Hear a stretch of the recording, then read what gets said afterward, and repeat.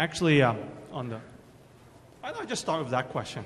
How Let's start that? with that question. Yeah, let's start with that question. Okay, so let me read out the question in case people are confused or they were looking at the, the, the, the middle section on like Little Wayne or something like that. so I'm looking at Turbo Mac.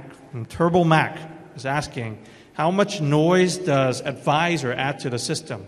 I can see the benefit, but don't want to overwhelm the already busy groups. Fair question, fair question. Well, we, uh, we actually look at noise, the issue of noise, uh, very, very intensely with Advisor. Um, so there's one report that we look at every other day. It's called the um, Alert Effectiveness uh, Report, where we actually look at um, the percentage of alerts that um, hits all of the system across the entire advisor agent population. Um, and we look at the, uh, the fixed rates, and we look at the ignore rates, and um, if there are alerts that hit a lot of machines, and there's not a whole lot of fixed rates, or there's pretty high ignore rates, those are the type of stuff that we pull pretty quickly. We pull pretty, pretty quickly. And um, we also run our rules internally in um, silence mode as well, just to see uh, uh, how heavy they hit um, against the, uh, the managed uh, environments. And uh, for those that you know uh, hits like more than 90% of the system, we roll up our sleeves to investigate to see what's up with that. Okay. Um, so very recently, we were dealing with some uh, more security-oriented, you know, security control-related uh, uh, rule set that we want to roll out for uh, Windows Server. Um, we're not looking for security uh, incident per se. We're just looking for security-related stuff like you know firewall setting and all that stuff. And um, so we work with this uh, this team that actually manage uh, those rules, and uh, uh, uh, kind of like brought up the noise issue to them. And we never roll out the, the, the rules yet. So we actually went through all the analytics to uh, see what's going on there. And um, as part of that exercise, we have reduced the rule count from 95 to down to 29, just to cut out the noise. And we are very willing and very motivated to cut out crap from the system. And we'll do it before it hits you. Okay? So um, I can't guarantee there'll be no noise, but um, it's a very high priority on, on our side to make sure that uh, uh, uh, that doesn't happen in the first place. Hope that answered the question. Turbo Mac. Thanks, Joe. So let's get started then. So yeah, thanks for coming. I appreciate you coming out this morning. As Joe talked about this morning, part of what we want to do at MMS is have that open dialogue with you, your customer, with, with our customers, and really kind of get answer, you get answers to your. We want to answer your questions related to operations manager. So we decided to put this session together. So you could come and meet all of the engineering team here from OM. Uh, we can have a discussion about some of the things that we hear, the questions, uh, and really just open it up so you can ask us, and then the other people can get the benefit from the, the, the, the questions you're asking. So let's just start with some kind of welcome. Thank you for coming. Uh, for those who uh, made the overview, thanks for coming to that and following it on here. Uh, I'm Daniel Savage, as Joe talked about uh, in uh, the overview. I own the management packs. I'm a lead PM, uh, operations manager. Been on the team five years, seven years at Microsoft. I used to work in Microsoft IT, uh, where I implemented operations manager and ran it uh, for, for monitoring line of business applications before I joined the product team. Uh, I have three of my esteemed PMs up here who can take the time to introduce themselves. Uh, my name is Anna Timasheva. I'm a program manager on Global Service Monitor team. I've been at Microsoft for a long time, 16 years, and uh, I've been on uh, in System Center team for two years. Daniele Muscetta, I'm also a program manager on the operations manager team. I own a lot of things related to application performance monitoring. And I was in Premier Field Engineering, so in the support organization for seven years back in Europe. And the last couple of years I relocated to Redmond and I work in the product team on the same product. Thank you, Mr. Muscetta. And spam Daniel. Remember to do that. and give out his uh, email address for no reason. Yeah. I love to see it. Make him cry. Uh, my name is Joseph, uh, for those who didn't come from the uh, overview session. And um, uh, um, I'm an old time friend of Daniel. Uh, we kind of started out in the ops manager team around the same time. Um, I'm also a lead program manager on, on, the, on the product team and with the product group for around you know, a little bit more than six years. Before that, I was a developer on the Exchange Server team. Thanks, Joe. So we also have some other members of our team here. Down at the front, we have uh, uh, Brian Wren, uh, who's, you know, MP author guy. Uh, we have people from our dev and test organization as well, Ruhi Eugene Marcin. Uh, I see actually me and Joe's esteemed leader over there, Jeremy Winter, GPM operations manager. I see Vlad in the back, and I see a handful of our MVPs as well. So there's a, there's a lot of knowledge in the room. Actually, Doug, another one of our testers, is hiding here. Um, a lot of knowledge in the room, so we can, we can have a dialogue, get question, answers to your questions, um, and make this session really useful. So I'm just going to throw out this slide. This slide has no reason whatsoever, apart from maybe just to kind of seed some thoughts into maybe what you want to ask some questions about. Um, we did talk about in the home session, in the session before, we did have some internet issues.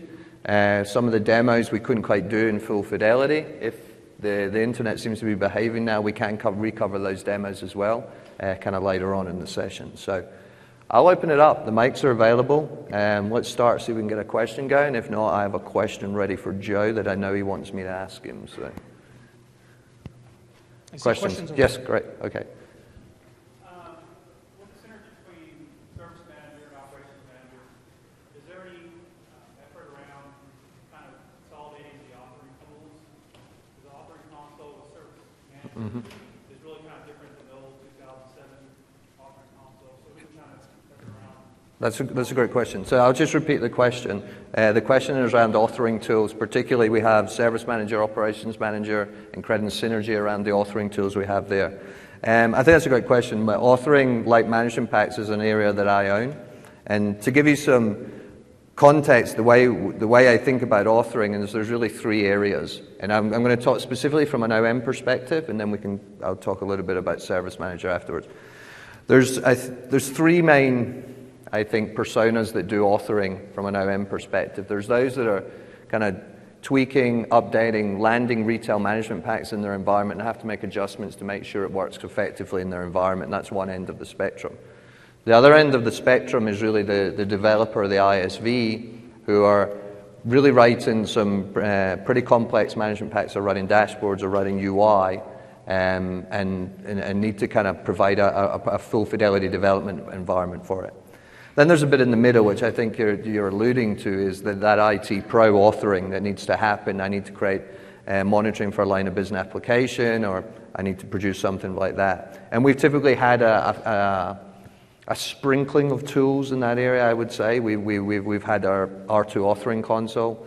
Um, we, we've had partners fill in that space. We, we've, been, we've been experimenting, I think, I, I think is the best word, with this Visio tool which is really kind of thinking about how we can author management packs on based on a set of patterns. Um, so I think as, as, as, I look at this area, I think we do we have the two sides, the, the, the, tweaking side covered from a console perspective. We have a full fidelity development environment in Visual Studio authoring console, which we'll continue to invest in.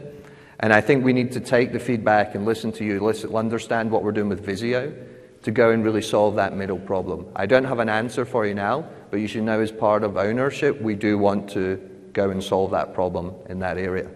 And the question then comes up well, since OM and SM are similar, we need to think about yes, we need to solve it for OM, but service managers becoming just as important, and I think we'll need to evolve in that area. So, so I hope that just, just know that we do recognize and we need to go and invest there. Okay? Next question. Yes, I'll take this and I'll come back there.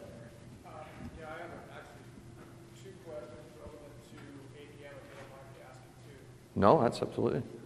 Uh, one of them is, is there any plan to uh, expand the .NET uh, compatibility to uh, legacy .NET apps?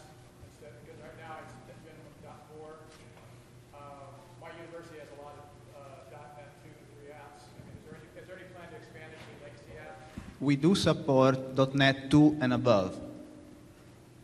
We don't support 1.x because .NET doesn't support it anymore. Okay, well, I'll, I'll have to talk to you about Yes. The other one is when you go to app diagnostics, this is just kind of an annoying thing. You launch app diagnostics, says, oh, you want to close this website? Is there any plan to fix that?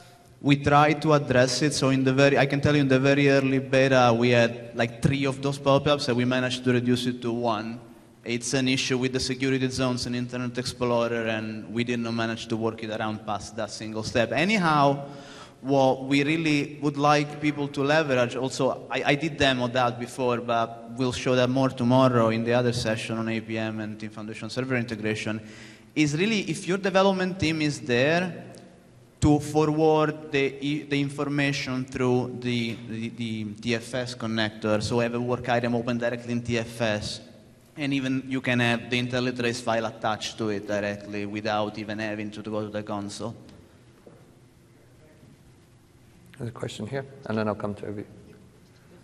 It was uh, in relation to the previous uh, session, Mhm. where you said that you were going to have more focus on the whole infrastructure and the, the workloads. Mhm. So, uh, in my terms, uh, seeing things, the whole infrastructure consists of more than just Microsoft. Mhm. So, so how, what is your, what are you going in in relation to supporting or uh, driving the support for other workloads than Microsoft? Mhm. In, in my mind, uh, you, you, are, you are supporting a lot of these things, but I really think that Microsoft also needs to be aware of that other workloads also consist, and that it could be a, a limited uh, seeing in the product. Th- That's a good question. So to, to repeat the question, the, we talked about managing the whole infrastructure and workloads in the last session. And the question is, is will that expand beyond what we do with Microsoft to other sets, Unix, Linux, HP-UX, I think you mentioned earlier. Um, as, I mean, as we talked about, I mean, Unix and Linux is first class in Operations Manager as a monitoring the OS level. Um, the question comes in into the workloads that run on there. And Operations Manager, as we talked about, is a knowledge based system. We provide knowledge through management packs to manage the workloads. We in Microsoft, because we produce the workloads, have the knowledge to push the management packs and give them out there for Operations Manager. Workloads that run in Unix and Linux, I mean, we, are, we don't have that knowledge. We're not the best people to say, okay, what is the knowledge associated with monitoring Oracle and Linux, for example. So that is really where our partner ecosystem comes into play on how we would um, provide the monitoring for workloads running across HP and Unix. And it's fully supported. There's a lot of partners as part of the System Center Alliance that do fill that gap. But we treat the fabric as first class. I mean, we know that data centers are heterogeneous in nature and we have to support that. We're not just about kind of the, the Microsoft stack there. And you see that in uh, investments in APM as well. We support J, J2E monitoring from an infrastructure level. I'm sure we'll have to make more investments there. So, um, yeah. I, I, I think it's good seeing that, that the, the partners doing that kind of work, but it's also more into it, who's, who's driving the, the process with that?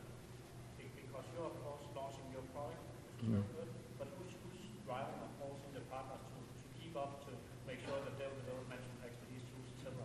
So I do know that our cross-platform team who develop like the, the Unix and Linux monitoring, they will work and drive with the partners based on the customer requests they, see- they see. So Michael Kelly, if you don't know him, uh, he's the, one of the lead PMs who works on the cross-platform side. I'm sure he's driving with the partners where he sees gaps and needs for, for those particular areas. Okay, thank you. There's a question over here. Okay, good. Answered. Yes. Mm-hmm. Your plans for 2012, release it, if so when? And I have a second question. Mhm. On the custom fields, um, can you modify them in codes which do not, um, I was wondering why that is.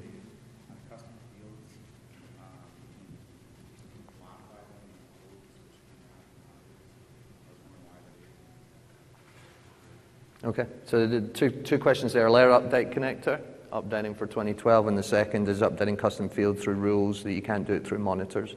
Do you know? So, yeah, I can take the uh, alert update connector question is, uh, is released for 2012 and uh, support it. So um, that's the question, right? Mhm. Yeah. Brian, you have something to add? No, no, sorry, I was just asking Brian on the second one. Oh, okay. I thought you were questioning that. No. Because I'm pretty sure I released it, man. Unless someone pull it from the web. Daniel asked me if I knew the second answer. I see. I was saying no, I don't. I see. So I got, I got you covered Yeah. for the first question. Let's take the second one offline. Um, uh, you can come and, come and find us after. Okay, Marnix? Yep.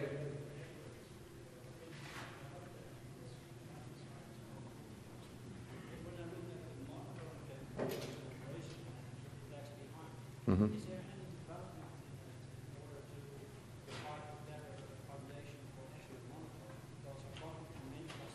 Mm-hmm.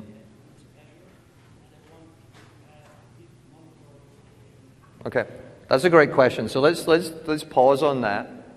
Is it, are we working? No, we're. Let's come back to that. Yeah. So, and we, we, we uh, so the first point is on Azure monitoring. Uh, we, we're la- we seem to be lagging behind in Azure as the platform is moving forward. Um, we, we, as we announced in the home session, we just released the, we will be just releasing Thursday, it will go live, uh, the update to the Azure Management Pack, which includes a, a brand new set of capabilities to really cover the investments that Azure are making that what we feel are appropriate for monitoring, particularly from an enterprise perspective. So, uh, monitoring for virtual machines, monitoring for storage, continuing the investments on uh, cloud services. Um, we're also doing some pretty cool things on being able to kind of stitch together what's deployed. It's also multi subscription as well. So you can set up, monitor multiple subscriptions, and we'll be able to actually create topologies of what's monitored. Um, if we did have a demo of this this morning, but unfortunately with the internet problems, we can't show that. If it comes back up, we will try and show you it today. But so there's a there's a whole set of capabilities we're adding that we released on Friday. Totally get you. We have been lagging behind. We're now kind of I think we're caught up from an enterprise perspective, um, and we will continue to kind of go with this.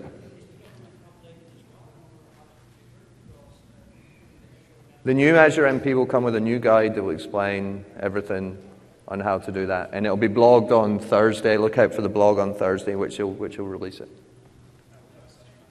They have a session on Thursday covering it as well. Marcin's just reminded me. So there's, a, there's a whole session. Connectivity is down, but I put up a slide with a new, one of the new dashboards for the new Azure MP that shows also relationship between hosted services talking to each other. And there are new scenarios such as, you know, as you said, storage monitoring. Yeah. Yeah, if the network works, uh, I would show you live. This is a screenshot from Do the same environment I would like to use. So they're going to work on maybe a hotspot here and we can get something set up. So, um, question at the. bu- Your name, sir? Matt? Pat. Pat. Pat. P. Pat. P. I'm going to take this question. Matt, let's give him a hand of applause. Sorry. Joe. This is regarding uh, um, APM capabilities. Mm. Um, Most of, uh, most of the apps nowadays are a browser. So what is Microsoft doing to um, address that part of the end-to-end response time user experience Mhm. um, equation? And not only when they're accessing the browser natively, but when you're accessing it through a VDI session, because really there's, there's two, there's two uh, uh, renderings there. One where you're rendering it in the VDI session, one when you render it on whatever you're doing. That's, that's, that's a good question. So, to, to summarize, the question is about APM and the fact that most applications are accessed via the browser. And what are we doing to provide the monitoring and the experience for monitoring for the experience in the browser, both natively and through VDI? Uh, I'll, I'll, I'll just cover it briefly and I'll pass it over to Daniele. So, we do have, are you aware of the client side monitoring capabilities we have as part of APM? So client-side monitoring is the ability to get to inject as the as we serve the application, you can inject, inject JavaScript in there, which will measure the response time and capture any AJAX-based exceptions. So we do have that natively built in in APM now, so you can do that client-side, which will work wherever you access the browser. Okay, so you, there is those metrics to add. Daniele, do you want to comment on the second part there? Yes, no, I, I think you covered the client-side monitoring is what we have today. We definitely need to um, in, increase maybe the coverage of the amount of browsers we support with that, but the capability is um, is provided to that to that piece. I'm not sure if you.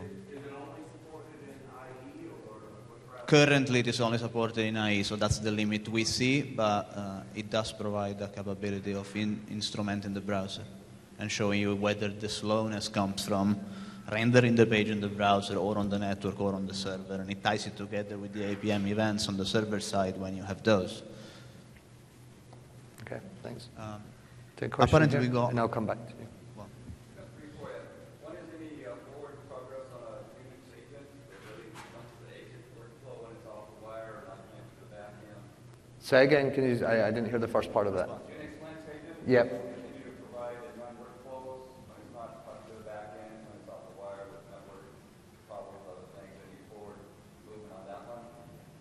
So the question is Unix and Linux. Um, are you talking about when our management servers aren't able to communicate and? Okay. Sure, sure. Um, that, do you know the answer on the agent side? Unix and Linux and the, the monitoring continuing when they can't communicate with their management server. Do you know what we do agent side? The Linux agent is essentially a daemon. Yeah. It sits there waiting to be interrogated. It's not doing active monitoring and sending data So- out like the Windows agent is.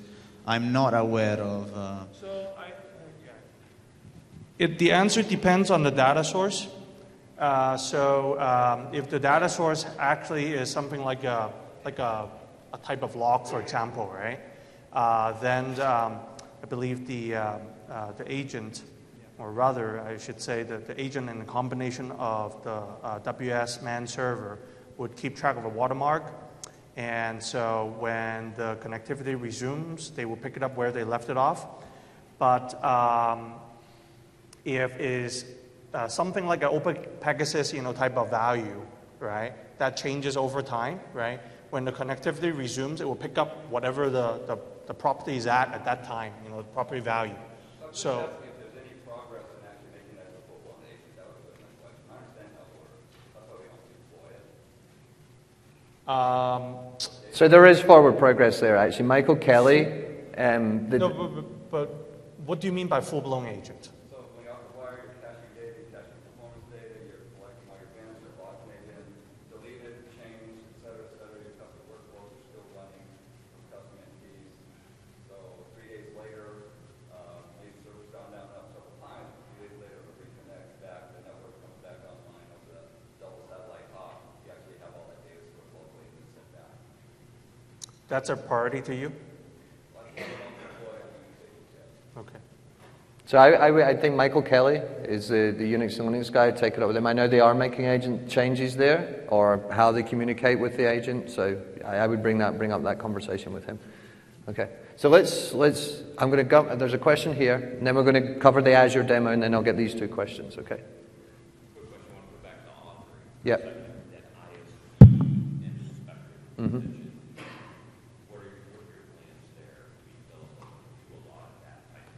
Yeah.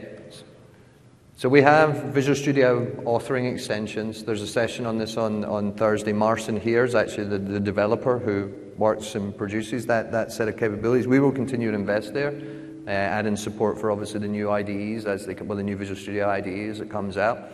But that's a full fidelity development experience with in, IntelliSense, building the Visual Studio so you can manage your whole life cycle. We absolutely need to keep investing there because it's how we support our internal product groups right in MPs. So that, that's what we'll be doing. Okay. Uh, you have Discover Storage. Do you have any intention of doing an SMIS-based discovery and storage like Systems Center Virtual Machine Manager does? See- So SCVMM uses SMIS talk to all the storage arrays in the market. Yes, so our File Services Management Pack does do that, right? The, the, the File Services Management Pack for Windows Server 2012, I think, supports discovery of SMS, SMIS already. Okay? I believe so, yeah. If you check out the File Services MP and, uh, and see if it's there, if it's missing anything, please, as I say, dsavage at microsoft.com so I get more spam. I'll, I'll, I'll get it. So let's, let's cover the Azure stuff, and then I'll come to the questions over here. And by the way, I don't call it spam. I mean, it's absolutely useful feedback, and I want, I want to get it. So, guys, Azure, ready? Yeah, Azure was ready gladly with the laptop from Vlad, seems to be connected.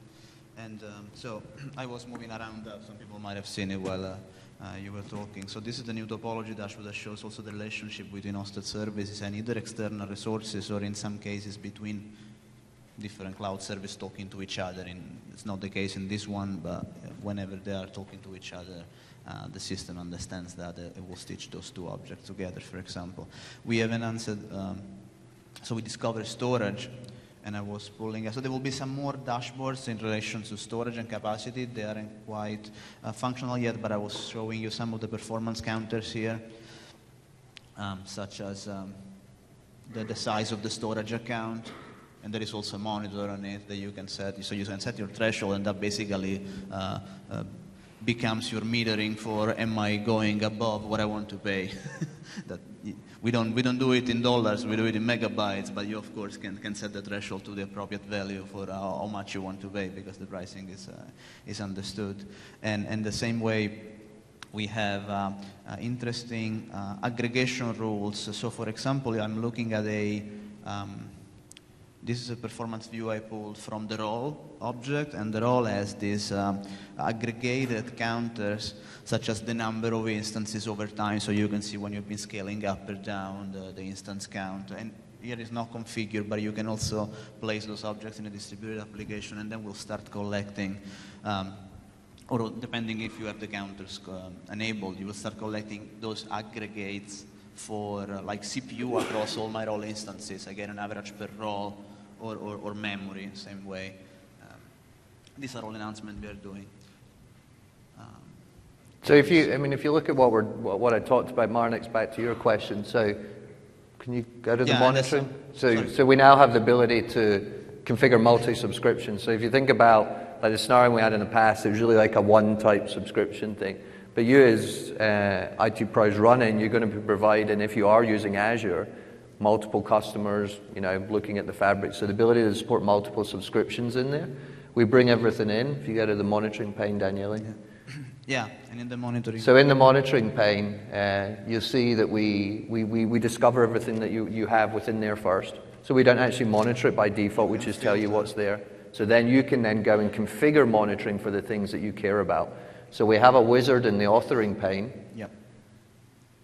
That allows you to run through and say, now these are my Azure resources I want to actually add monitoring to. So once we give you, vis- we give you visibility into the topology, what's there, multi-subscription, then we actually can allow you to go and configure and set your monitoring there. So that's covering um, cloud services, virtual machines, and, and storage. And then what Daniel was showing you, which is the really cool thing, is we, we go and look at what's deployed, and because Azure has a model associated with it, we can tell who's talking to what.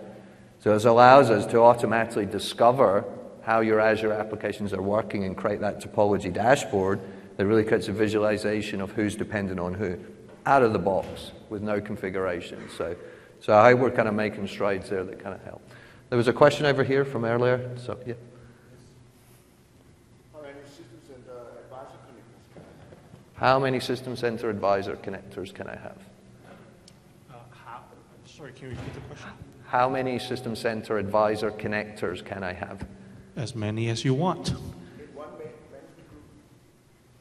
Uh, you only need one connector per management group. you like to have more connector per management group? I have uh, several system center advisor deployments at different customers that we monitor central- centrally. Okay. And we'd like to bring those connectors into our SCOM.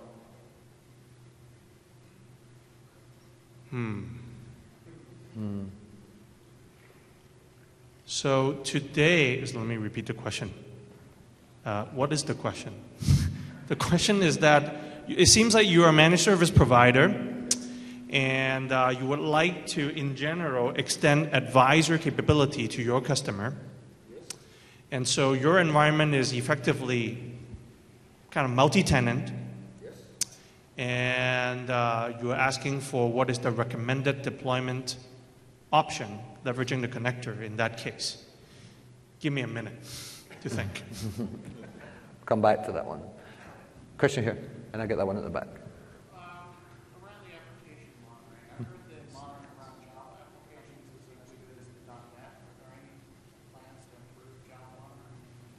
So the, the question is for, for APM and for Java monitoring specifically. So uh, I think I mentioned earlier we have J2E support, um, really at the enterprise layer, and you can do some custom there. I think from a, an investment standpoint, and we, we, we talked about supporting platforms in heterogeneous environments, I think we need to make strides in the Java APM space and make it more like .NET.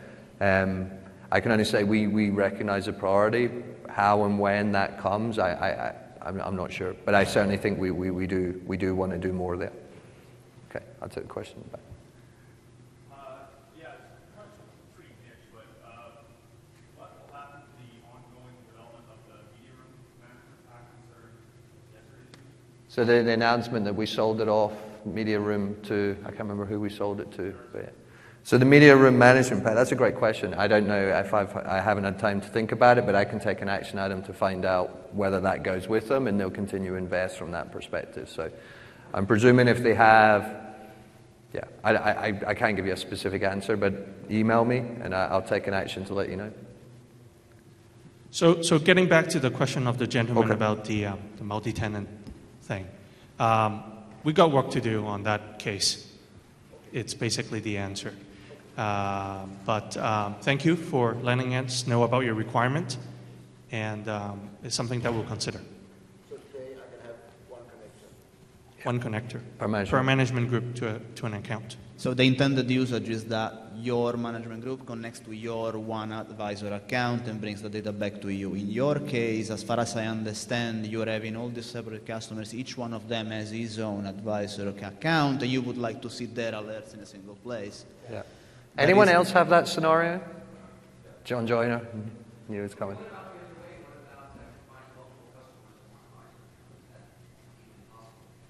Oh, yes, that we can do. Yeah. As long as you're willing. So you offer the account, and they point the gateways at you. Yeah. So you, you can definitely. So the way I mean, imagine is you have all these sites out there connecting through Gateway probably into your central management group. Um, when you deploy the, the connector, basically your management server tier in your central management group basically acts as proxy to talk to advisor. And so all those agents out there basically will talk to their gateway, forward the data to the, uh, the management server. The management server pipe it up to that one central account. But if you want to basically say, well, I've got five customers out there, I want to open up five accounts, and as the alerts come, as the config data comes in, I want to like allocate them to the right account that way. That is something that we, we don't support yet. Okay.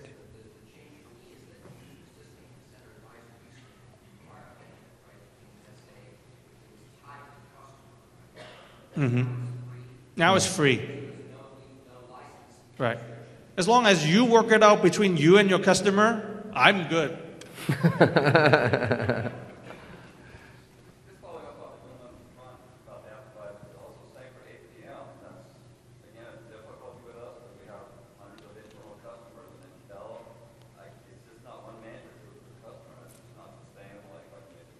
Yeah.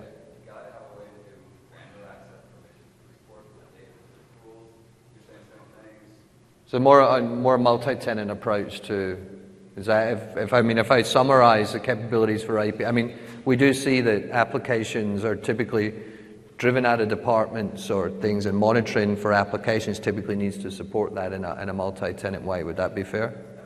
Okay. Even just systematically throw out manager, and you can be able to leave through the console, for instance, turn off maintenance mode. I don't want anybody, I don't want anybody to be doing it that way. So just all your audits, all your tasks, all your data, Yeah. all your reports systematically to have a systematic approach for granular access.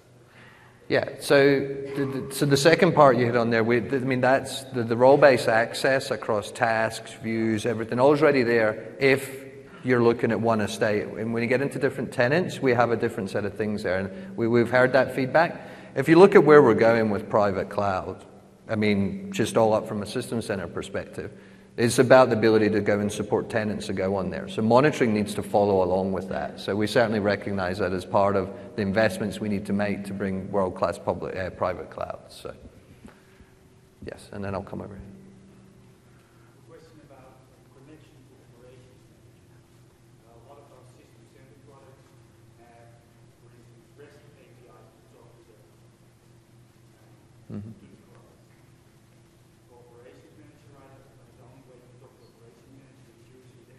Mhm.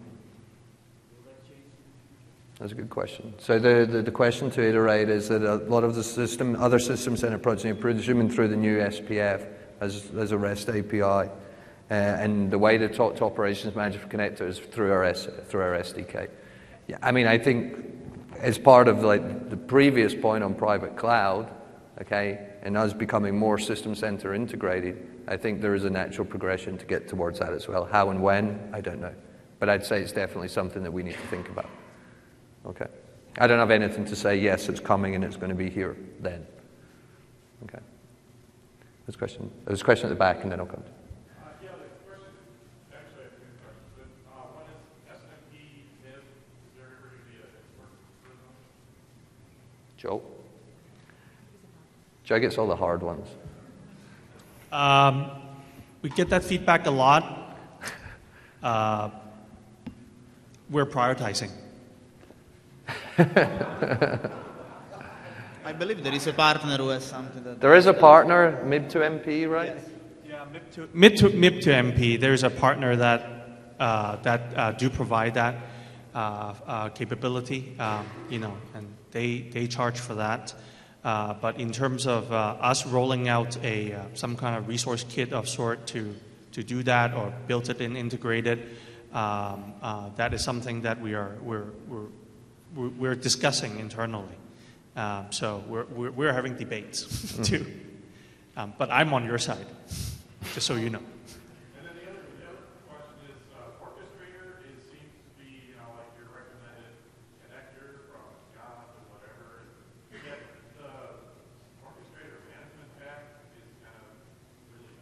And Absolutely, yeah. I mean, as part, as part of what I talked about on consistency and raising the bar, we are working with the orchestrator team to address these things. Uh, if you know, actually talking about pestering people, if you, who knows Justin Incarnato?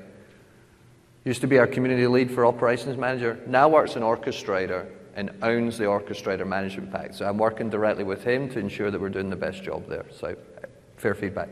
Uh, if you have specifics on details of what you think is missing, feel free to email me and I can let you know whether we're covering it or not covering it and what we're doing there. There was a question here, and then I'll come to you, Martin. Question about uh. Yep.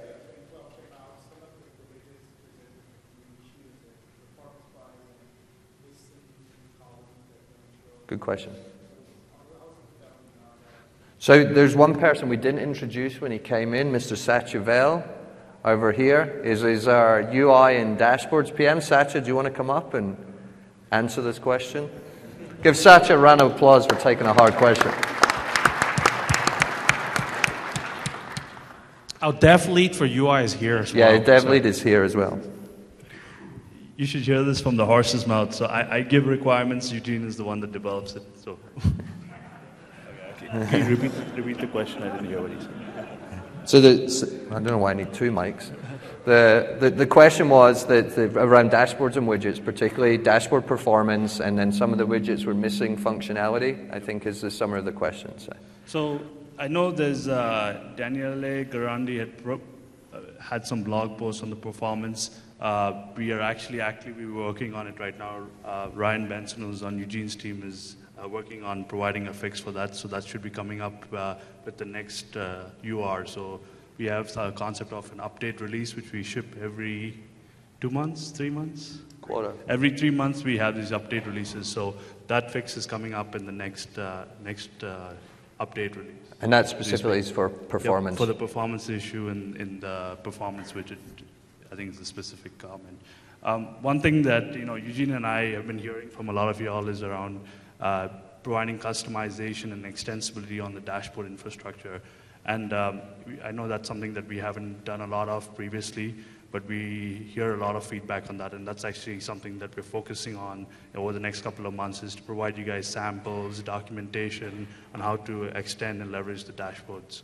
Um, we're actually doing a session today at 4:30 um, where it's going to be our kind of first kickoff on the extensibility of this dashboard infrastructure. We'll talk about some of these performance issues and some of these uh, small bugs that you guys have reported and how we are planning to address them as well. So, uh, 4:30 at uh, South Seas F. Thank you, Satya. Then, uh, okay, Marnix, I think you had a question. Network monitoring.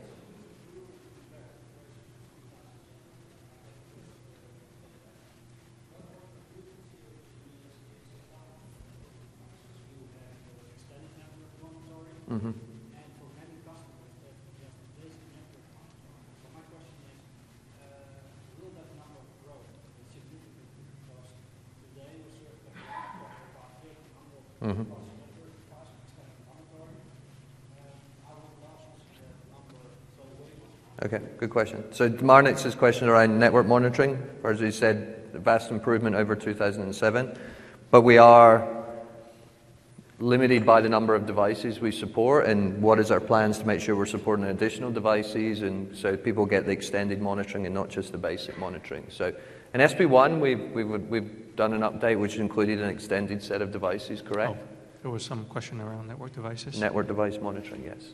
Martin's question is, what is our plan to ensure that we're adding additional devices? Oh, and you covered the uh, standard SP1. port monitoring, and those are really just extended monitoring capabilities. And, and even having said that, we're still adding a couple of hundred more devices to that list for SP1. But, like I said, those are for extended monitoring purposes. Any devices that support MIB1 and MIB2 uh, uh, interface, we would provide standard uh, port monitoring, and that means we can detect whether the device is up or down. We can um, let you know at the port and interface level what is the utilization uh, uh, rate, what is the latency, and so forth on there. And those are the P0 uh, scenario that we care about. Those.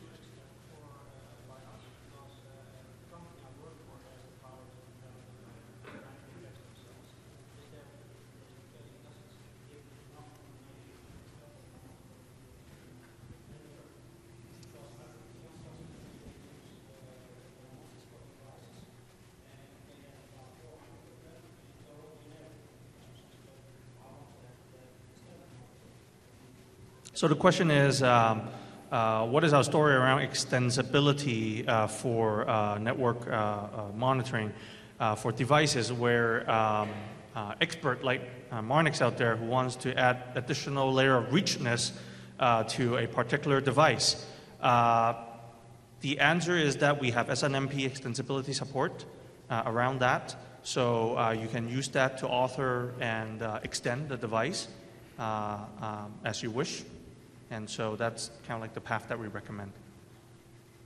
Okay. Question over here? Oh, come on.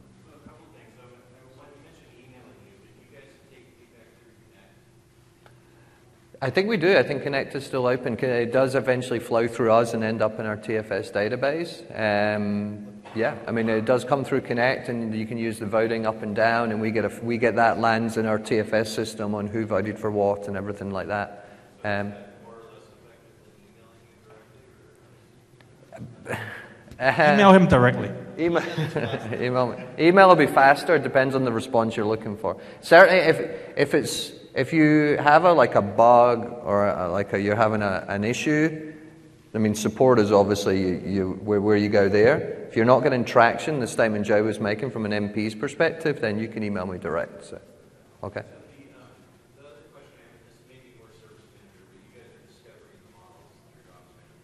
Mm-hmm. Support for CMDB Federation, as in multiple service managers, or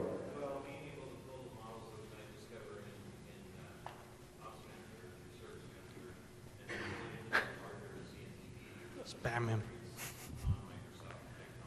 That's a good question. I, I don't specifically know the answer. I'm looking to see if there's any of our community MVP guys who may have an answer to that question. If not, let's, let's take it offline. I'll get you contacts. I know that some of the service manager PMs are here. We, we, we, we can take it up with them. There was one here, and then I'll come over here. So, uh, two quick questions. Um, with the TFS Connect, are you going to be support to rename the name resolution space? Because right now, some of those names are ones that many of our customers use to exist quite close like the sites. Yeah, yeah. And there's a conflict at the moment trying to tell them, wow, you can't have all yours Sure, sure. Okay, so the first question, TFS connector, we said we have a set of resolution states, and the question is, is whether those resolution states could be changed because they could conflict with other processes. Just the names, yeah. Yes, uh, there is no, it's not exposed in the UI because those resolution state is marked as protected, but there is an unsupported but no problematic hack that you can do to enable editing them and then protect it again. Uh, uh, if you shoot me an email, I'll send you a link. Uh, it's a DB hack, but it's very simple and not doesn't create any. It's just a very simple. You're on your own with that. So. but I think that, the, the, yes, you might. I don't, we're not going to recommend that. However, we will take the feedback and think about getting a supporting way to do that. Right. Sorry. Just a feature request. Uh, is there any plans to add DGML support to the Visual Studio extension so that we can use the code generation and validation features? Um, so that we could, for example, draw a diagram, um, class structure relationship, and then hit generate and have that done for us. Um, bring that kind of vision, the Visio added stress. to Visual Studio. That's a great question. So I think to summarize is like taking pattern-based authoring to allow the generation of MP code. Uh, yeah, and this is something we're talking about. We would, back to the authoring question earlier. As we renew, well, as we continue to stress in our management pack investments, authoring has to happen alongside that, and we have to fill those gaps. So we'll take that and we will think about what we can do there. And Marcin sitting in front of you, I'm sure he's listening to that as we think about the plans going forward there. Okay, there's a question over here. Okay.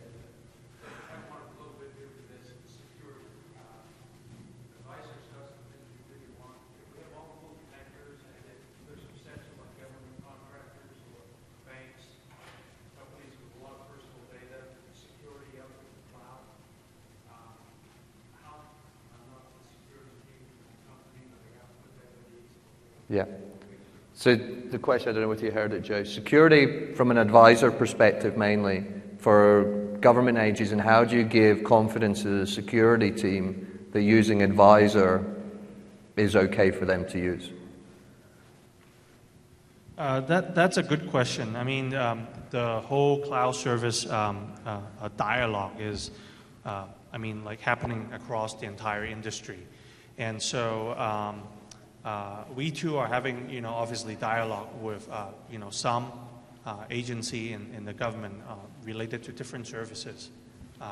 and, you know, they basically different agencies have different requirements as well. Um, at the end of the day, the, the, the privacy statement is our primary vehicle of communication, okay? And that's really the, the kind of like the, our promise and the contract uh, to um, how we handle your data and how the data is forwarded and so forth. And specific, you know, security personnel within um, a particular agency would basically evaluate that and uh, make a cost and benefit decision, right? At the end of the day, it's all cost and benefit.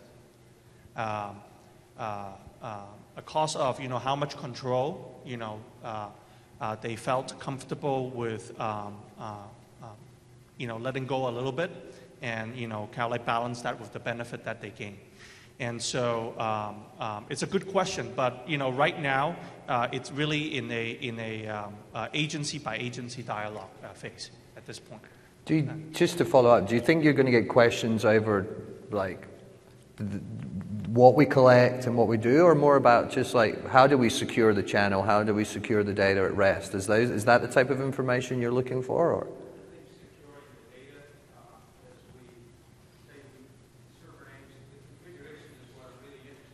Hmm. Mm-hmm.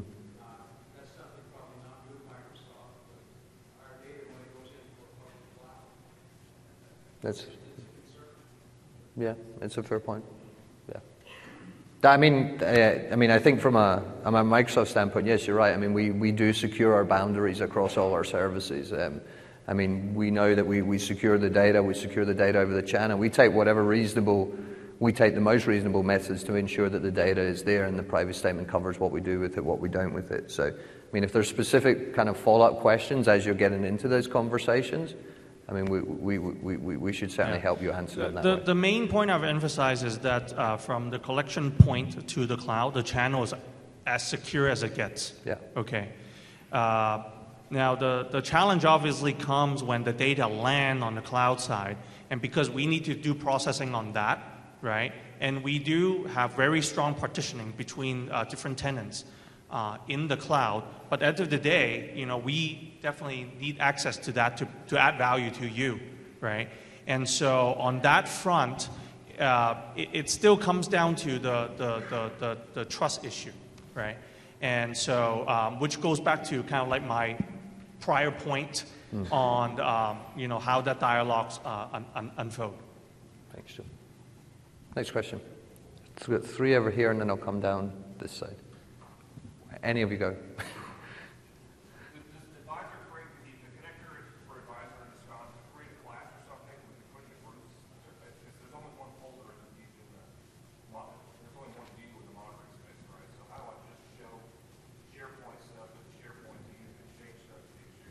Yeah, that, that's a great question. Um, the, the, so the, let me repeat the question. Um, when, uh, let's say you have, I, am just making up the scenario, but I think the scenario match, match what you're asking for. Say you have a thousand servers in your environment and you have, you know, SharePoint admin, Lync admin, SQL admin, and, and so forth. Um, right now, it seems like with the connector, there's only one view called Advisor Alerts. So what the heck? How, how am I going to like dole these like alerts out to the appropriate consumer of the alerts and let them use it appropriately? Um, so the answer to that is um, uh, you can leverage user role. Okay. So uh, as you create uh, a, user role within uh, Ops Manager, uh, you can basically place those server in the appropriate groups, right? And so when they are, when a user that belongs to a particular user role uh, basically connects to SCOM, those advisor alert is already targeting the same class that um, the, the, the, uh, the workload MP actually uses. Okay.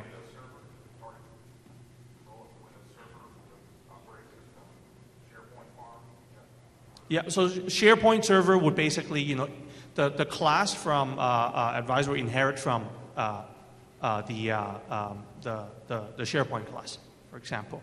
But at the end of the day, you would have, um, I, I mean, the bottom line is that you'll have server groups for those guys, right? And so what happens is when they sign on, they will, they will only see advisor alert related to their group. And so that will just work out of the box. Yeah, so basically the answer is user role will basically solve your, save your day. Okay. Red shirt.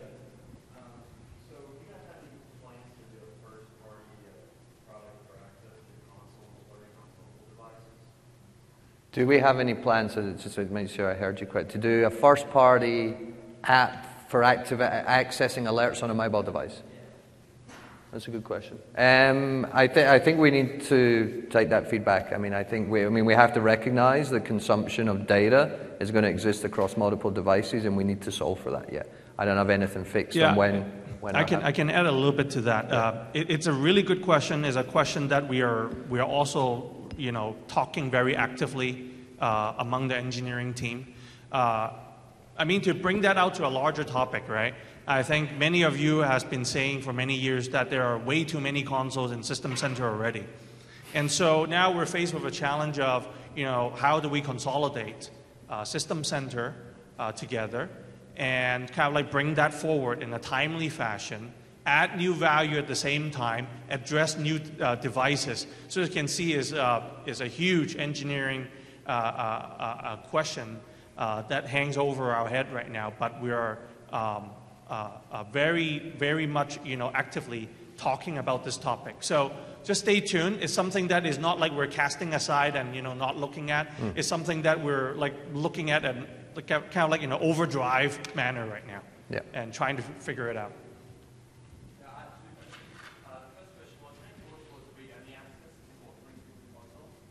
Sorry, uh, can you repeat that? Sorry. Read only access to the authoring view in the console. Any plans to support that? Is that the question? Or?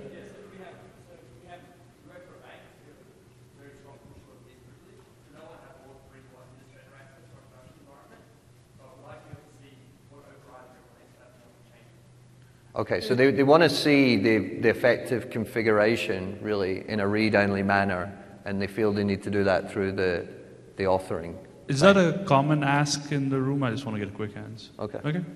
Okay. There are, there, there are ways to do it. I mean, there's obviously, we have reporting, there's uh, some tools out there that can kind of list out what's configured. I know that the partners exist in this space for doing it, but we'll certainly take the feedback to think about how it could be a more So, integrated. so I just want to make, the, make sure the requirement is clear. Is you, you, the, you want to allow the user to have read-only access in the authoring console, not even to set override, right? to see what's configured, to see what's being Right. monitored. But they can't even apply override. No. Okay. Yeah. Yeah. So the effective configuration. So have you seen the power? We've got a PowerShell commandlet that does effective configuration when you target it at something, and it'll list out everything that's configured. Is that the kind of thing that they want to look at? Mm-hmm.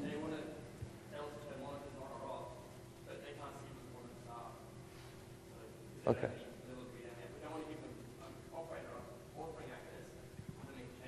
Sure.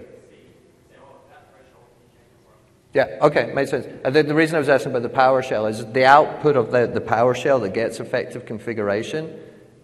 Is that what you want to? Okay, okay. So drop us an email. We, we can kind of cover what's available now and we can kind of see if it meets your specific use case. But we'll obviously take the feedback from the, obviously the hands that came up in the room as well. You do, do have the internal task management pack and the support tools. Yes, that's right. Yeah, I think there's multiple ways to get at that information. Yeah.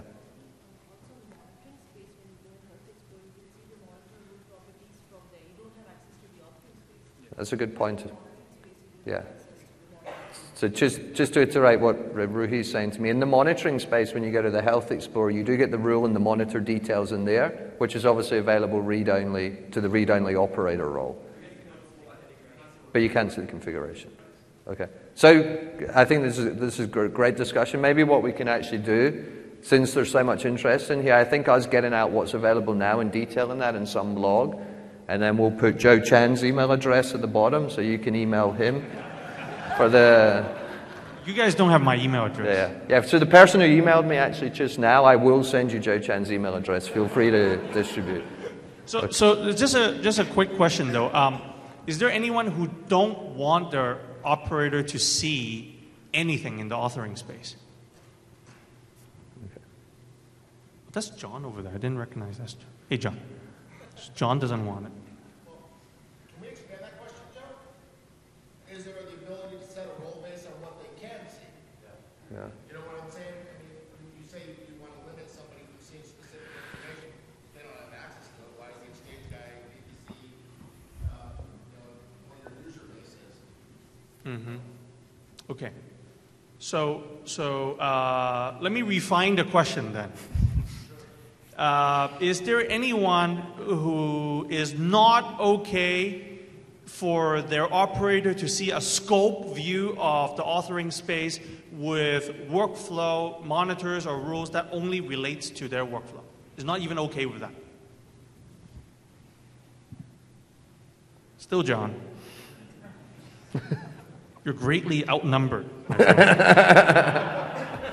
I think I may have found my cheap solution. Yeah. Okay. There was some questions over here. Yes. I'll come to you. I have this question about authoring again, just to come back to it. Okay. In a lot of the areas you're describing, you're describing, you know, some of the improvements and how you're going to get to e- even better over time and how, you know, with authoring, we took something away from this. And six months later, I still can't author like I did before. I, you author 45 in a year, I can't author one the way I used to. Okay. You have no training. You have no actual definitive answer on how you're going to replace what you've taken from us. Mm-hmm. We have 150 custom-made things you made through that authoring console. I can't make one today. Okay. So you, when we say what we're taking away, do you mean the, the R2 authoring console? Yes. Okay. It's, I mean, we didn't take it away. I mean, it's still available. It's still there, there to be used. Um, as far as like the, the train documentation, Brian, do you want to kind of comment? I mean, Brian Renault here is the one who produces all our content from an MP thing. Um, yes, yeah. And Brian actually said in a session the other day, he said, if you can't find what you're doing for MP authoring, it is his fault. So, I knew I shouldn't have said that. um, yeah, so so yeah, we, so like Daniel said, the R2 authoring console still exists. We still support it. We're just not going to invest in it further. So it's still, remember, an art, anything created for 2007 works fine in 2012, right? And we, we usually, that's our best practice, is we target the 2007 schema. Really, the only thing is dashboards um, that you need for 2012 that's unique. As far as training, content, and the whole thing, and I've got slides. i am kind of invading a few different sessions this week and throwing up a slide or two about my stuff. Um, but we're moving. One of the ways that we're trying to do just to get more content out there faster and is to try to scale me a little bit um, is trying to go a little more community based. So we've taken the entire authoring guide has now moved over to the TechNet Wiki, um, which allows, and I'll invite anybody. I know there's some people in the room who do some great work and you know, please, I mean, give us some of your knowledge, add to that, modify my stuff, you know, what a, uh, you know, help us out in getting that built. Don't worry, we monitor it. We make sure to maintain the integrity of the content. Um, so we're, we're, I mean, that's exactly what we're trying to address. More samples, more content. I'm going to take, I got a request and I, another one that I kind of threw out that maybe I shouldn't have because now I am committed. Um, the full day training that we did, what, three, four years ago, I'm sure some people were in there with like a marathon training on Monday for all MP authoring. I'm going to be updating that this summer for 2012, and I'm just going to basically record it and put it online. So, so we're going to have some of those out there. But anything that you're missing, like I said, BREN is my email, or uh, BWREN, or MP author, mail either of those. Any stuff you can't find, please. Those, yeah. those are the things I'm trying to prioritize yeah. on what we put out. And, and okay. Just, just to, I'm not downplaying when I talked about us having to go and figure out that space for the IT Pro where we've had the authoring console and Visio. That's a hot topic for us right now.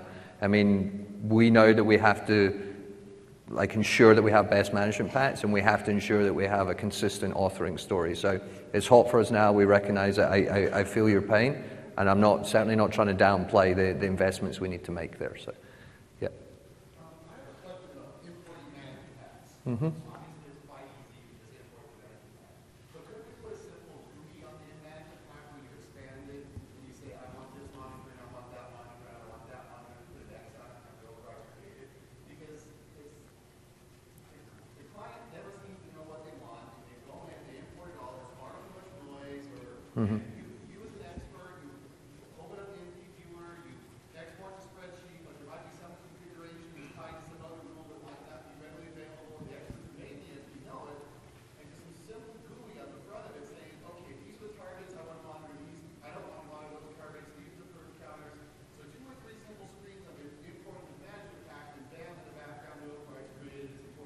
That's a, that's a fair point. And, and just to, to, iterate the point, I'll iterate your statement and then I'm going to expand on it. The, the statement was as a way to think about when you import MPs to be able to see what the MP could do and then choose what it's going to do as the MP is being imported and set the overrides and stuff like that. I think that's great feedback. I think there's, there's also, I think there's another set of scenarios around that, like kind of phased rollout, okay, kind of being able to say, okay, I only want to target this set of servers first to see how things go, and then I want to roll it out. I think there's scenarios that relate to that. I also think there's ways for us to actually provide best practices out of the box. One of the things that we want to do with our knowledge, and it's almost like, could we provide the management pack, but then provide a set of override management packs that have been tested and targeted in environments so that you don't need to do that checking of work. Here's, here's a, a set of overrides targeted where if you say I have 50 servers compared to where you have 1,000 servers, or maybe an override management pack that turns everything off so you can run it in discovery. I think the point I'm trying to make is that I, I hear you on the last thing we want to do is import a management pack and have a ton of noise and then have to go and spend some time to do that. And I think there's various ways that we can make that investment, but I, will take, the, I'll, I'll take the feedback from the, the UX perspective. So, make sense?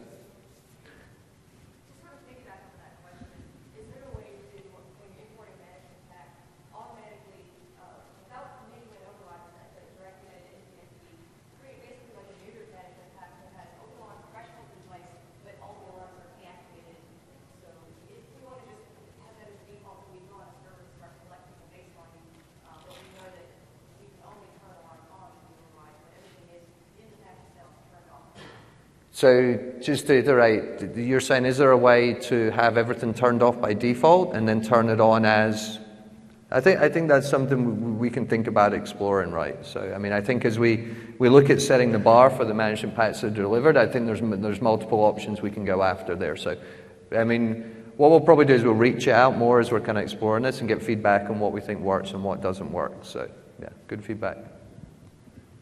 Yeah, gentleman on this side.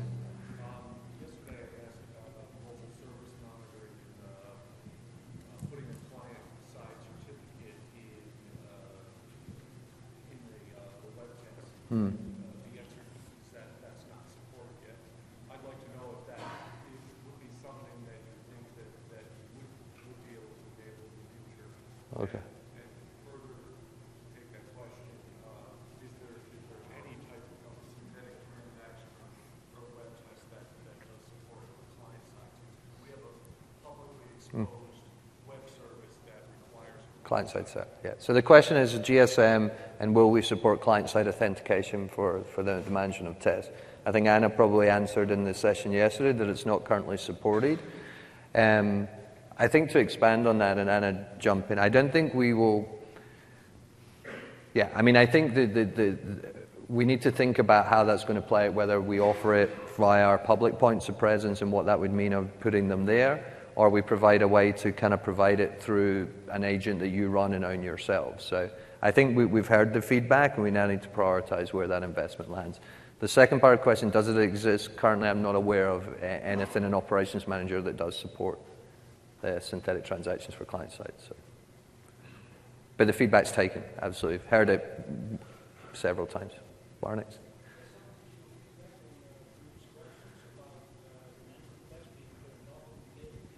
Mm-hmm.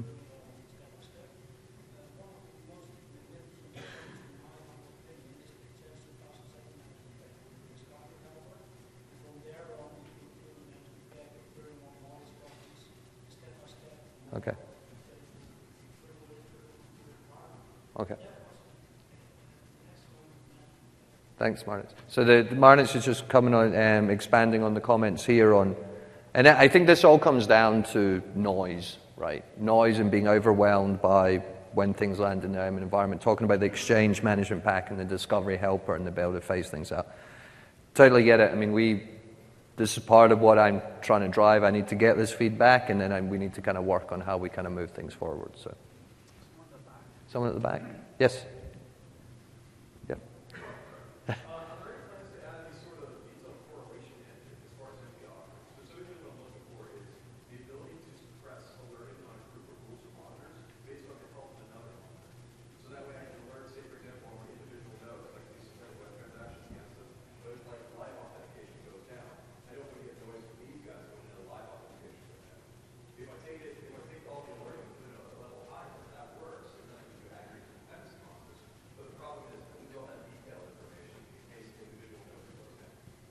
Good question. So to, to iterate the question is doing correlation and more importantly doing suppression for saying I maybe have generate an alert and turn off a set of monitoring based on a particular health condition in there. So yeah, I, I think that's good feedback. I think those are those are the type of things that we need to go after from improving our monitoring platform. So I don't have anything to say on. Joe, do you want to add? So. Yeah, it, it's a problem that we, we, um, we're well aware of.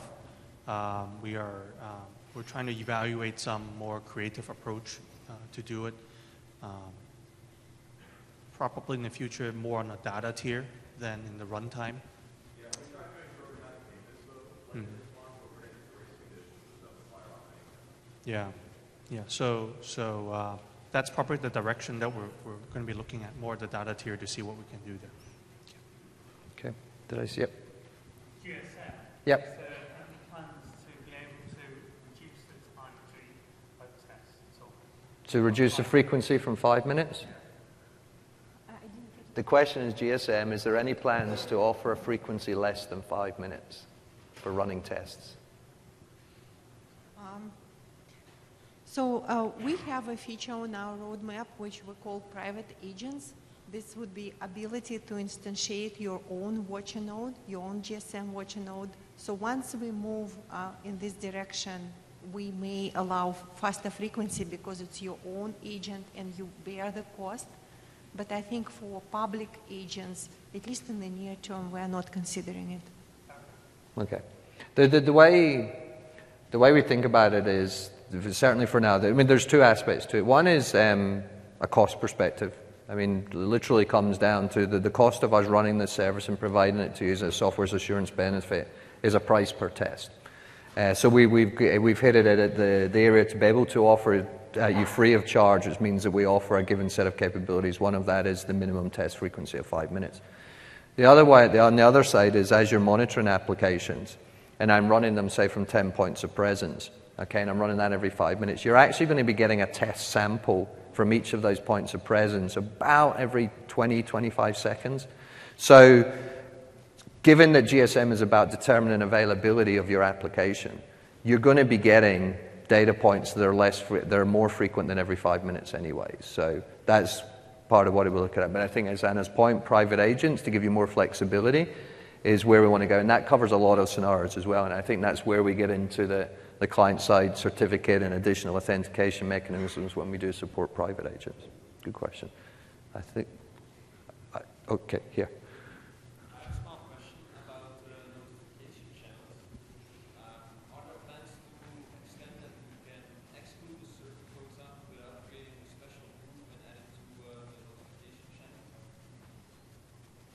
Get that?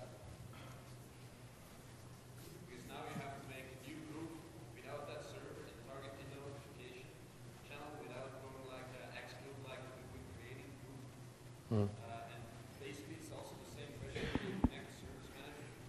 Uh, to SCOM, you can get a one for all, but you can't do a selection. I know it's possible in the back when you do the XML, but if you change something on the connector, it's already wrong.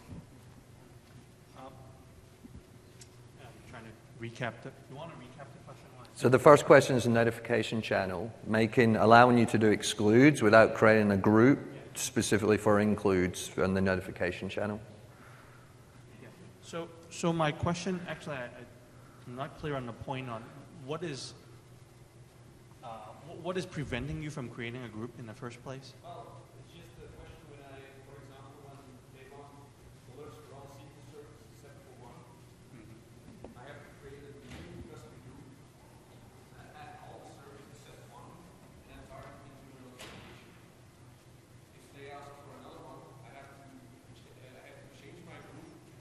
So basically, you have to create two groups one which does your monitoring and one that controls your notification channel. Does your, does your group, so this is more of a group definition question. Uh, at least I'm, I'm trying to approach it that way, right? It, it, does it shift a lot in your environment where, you know, kind of like group definition changes, you know, uh, depending on the. Well, if I have exclusion in the notification itself, like I have in groups, I can say, yeah, I want to alerts, I want to send out mails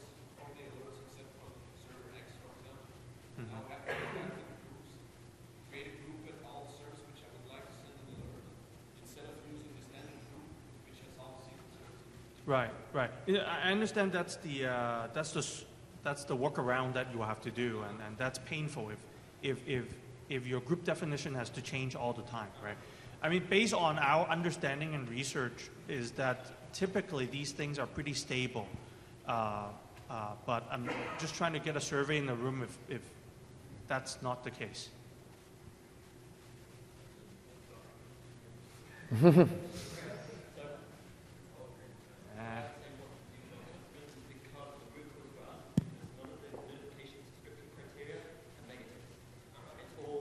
It's all positive.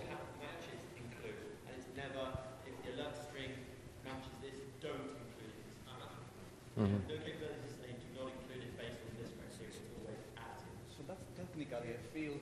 So in, again, in unsupported ways, mm, in, in, in no, no, I'm saying it's a matter of having UI for it. Technically, the, the, that's the workflow. The notification is a workflow with a condition, with a filter. So yeah. it would be technically doable, technically doable to build an expression.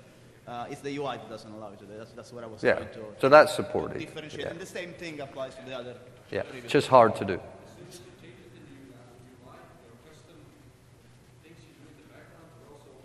I understand. I understand. I'm saying that we, we have the capability in the workflow, not in the UI. Fair point. Okay. There was there was one here. Yeah. Uh huh.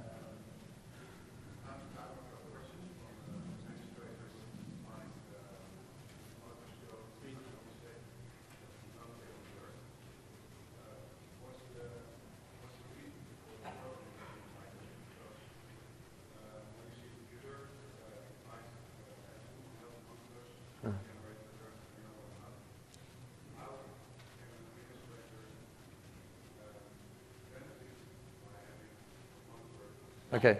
So to recap, you're monitoring something.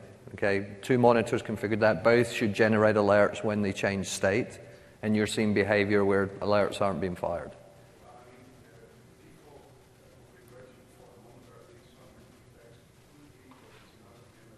Oh, okay. So it's actually that we, we, we ship inconsistent behavior. Is that what you're saying?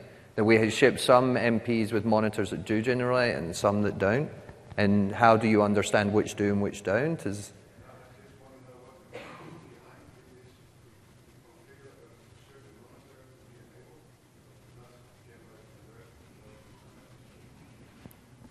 That's a, that's a great question. I mean, I think that gets into the head of the MP author at the time of when they did that, right? And I think that we need to drive consistency there.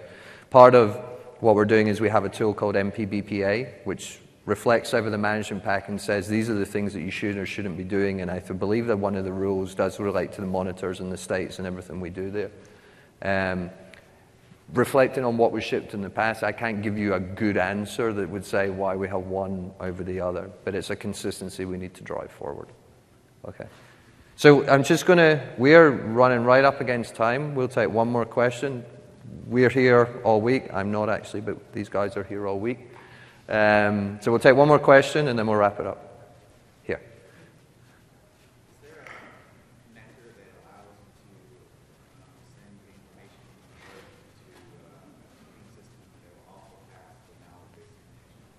So, is there a connector that will take an alert out and pack it to a ticketing system and include the knowledge associated with the alert? I'm not sure. Vlad?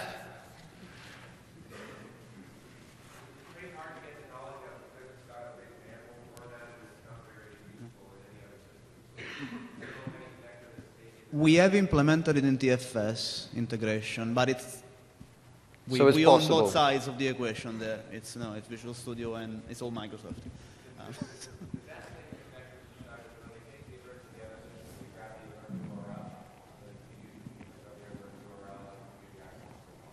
Mm-hmm. Good question. Pardon? How would you get that URL passed? So it's a standard URL with uh the, one of the properties of the alert that you can create.